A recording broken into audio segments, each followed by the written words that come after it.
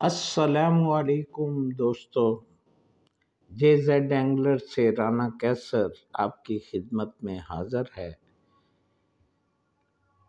آپ کی سوالات، آپ کے سوالات کے جواب دینے کے لیے۔ اب یہ ایک گروپ ہے، فشنگ گروپ کہنے یا اس کا کوئی اپنا ہے صاحب کتاب۔ Game it. مالک کا نام ہے نکی۔ نکی۔ گیمٹ سے ان کا تعلق ہے۔ چار سوال کٹھے کیے ہوئے ہیں۔ تو اب میں آج ان کے ایک سوال کا جواب دوں گا۔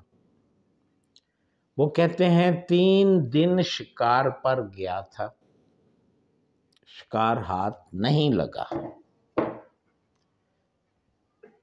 تو بھائی میرے، سب سے پہلے تو میں آپ کو سلوٹ کرتا ہوں۔ آپ کا سٹیمنا بہت زیادہ ہے، آپ بہت اچھے شکاری ہیں۔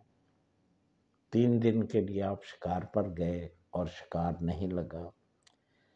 بھائی، لوگ تو شکار کھیلتے ہیں، زیادہ سے زیادہ دو راتیں ہیں یا دو دن۔ تین دن اس صورت میں کھیلتے ہیں کہ بھئی ڈوریں چل رہی ہیں گیم بہت زیادہ ہے، جا کر کیا کریں گے؟ بار بار آنے سے بہتر ہے، دوبارہ مچھلی یہی پکڑ لیں سیٹ ہوئی ہوئی ہے۔ تو آپ کا بہت سٹیمنا ہے۔ تین دن تک آپ بیٹھے رہے اور شکار بھی نہیں ہوا۔ بھائی، میرے ایسی صورتوں میں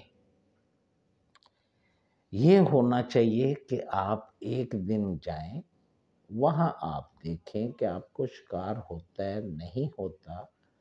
اگر نہیں ہوتا تو آپ واپس آ جائیں۔ تین دن کی آپ کو کوئی سزا ملی ہوئی ہے۔ پھر آپ نے اس چیز کی وضاحت کی ہی نہیں ہے کہ تین دن آپ شکار پر بیٹھے ہیں۔ ظاہر ہے کئی لوگ آئے ہوں گے، کئی گئے ہوں گے۔ کچھ دائیں بائیں کسی کو شکار ہوا کہ صرف آپ کو نہیں ہوا۔ آپ کو اگر نہیں ہوا تو یہ آپ کی کوئی کمزوریاں ہوں گی، لوگوں کو اگر شکار لگ رہا ہے تو مقصد یہ ہے کہ وہاں شکار تو ہے، تو آپ کو نہیں لگ رہا آپ کی کوئی کمزوریاں ہیں۔ تو ان چیزوں پر توجہ دینا آپ کے لیے بہت ضروری ہے، بہت ضروری ہے۔ آپ کا سٹیمنا بہت ہے۔ آپ اس کو ضائع مت کریں اور شکار کو سمجھنے کی کوشش کریں۔ شکار ایسا نہیں ہوتا کہ آپ پانی پر جائیں اور باندھ کے آپ نے رکھی یا وہ نکالیں اور گھر لے آئیں۔ شکار ایک سٹرگل کا نام ہے، ایک کوشش کا نام ہے۔ ایک جگہ سے نہیں لگتی، آدمی دوسرا اڈا بدلتا ہے، دوسری جگہ سے نہیں لگتی، تیسرا اڈا بدلتا ہے۔ تو اگر پھر بھی نہیں لگتی تو گھر آ جاتا ہے۔ اور اس کے بارے میں معلومات لیتا ہے کہ بھائی کیوں نہیں لگ رہی۔ اب آپ نے اس چیز کی بھی وضاحت نہیں کی ہوئی کہ آپ دھن میں کھیل رہے تھے، دریا میں کھیل رہے تھے، ڈیم میں کھیل رہے تھے، وہاں مچھلی تھی بھی یا نہیں۔ تو یہ چیزیں آپ کی معلومات میں پہلے سے ہونی چاہیے۔ اگر یہ معلومات نہیں ہیں تو اس جگہ پر شکار مت جائیں بھائی۔ اتنا ٹائم انسان کا قیمتی ہے کہ یوں ضائع نہیں کیا جا سکتا۔ یہ ایک سپورٹس ہے۔ آپ کو پتہ ہے کرکٹ جو ہے وہ ٹیسٹ میچ ہوتے تھے تو انہوں نے ختم کر کے کم کر دیے، ون ڈے پر آ گئے۔ تو یہ تو شکار اب رہ گیا ہوا ہے۔ میں جو باتیں بتاتا ہوں، جو معلومات آپ کو دیتا ہوں، یہ ون ڈے کے لیے ہے۔ ون ڈے پر شکار کھیلیں، ون ڈے پر مچھلی پکڑیں۔ اگر ون ڈے میں مچھلی نہیں لگتی تو بھائی میرے پھر میں آپ کے لیے کیا کر سکتا ہوں؟ میں نے آپ کو چرائی بتائی، میں آپ کو نسخے بتا رہا ہوں، بار بار ٹپس دے رہا ہوں۔ تو آپ اس کا مطلب ہے ان پر توجہ نہیں دیتے۔ ان کو نوٹ کریں، اس کے مطابق کھیلیں اور پھر انشاءاللہ آپ کو مچھلی لگے گی۔ اور اپنے سوال کی وضاحت ضرور کیا کریں۔ اب آپ نے کہہ دیا آپ کو نہیں لگی۔ بھائی، یہ تو مجھے پتہ ہی نہیں کہ آپ کے آس پڑوس میں جو بیٹھے ہیں، ان کو بھی لگی ہے یا نہیں لگی۔ تو میں آپ کو جواب کیسے مکمل دوں؟ تو بھائی میرے، یہ آپ کا سوال ڈیو ہے۔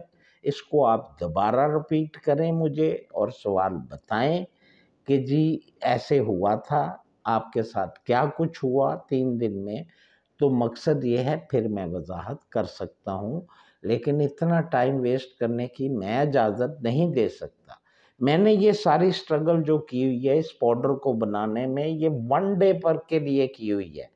میں چونکہ دن میں نہیں کھیل سکتا، دھوپ کی وجہ سے میں دن میں نہیں بیٹھتا، رہتا پانی پر ہی ہوں۔